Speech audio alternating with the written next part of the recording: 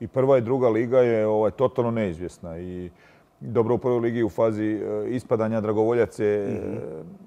nažalost nije se posložio od početka ko ovih sad zadnjih par kola da je bilo ovako onda bi to bilo skroz zanimljivo i za ispadanje. Tako da oni su tu malo nekakvu greškicu napravili što se tiče toga. Ali što se tiče borbe za prvaka je fenomenalno. Tu imate jaki Hajduk, e, napokon jaki Hajduk, imate Dinamo, imate Osijek koji je ozbiljan klub, posto Rijeka, tako da mislim u te četvorke da je, da je stvarno ono, bit će borba do kraja, do zadnjeg kola.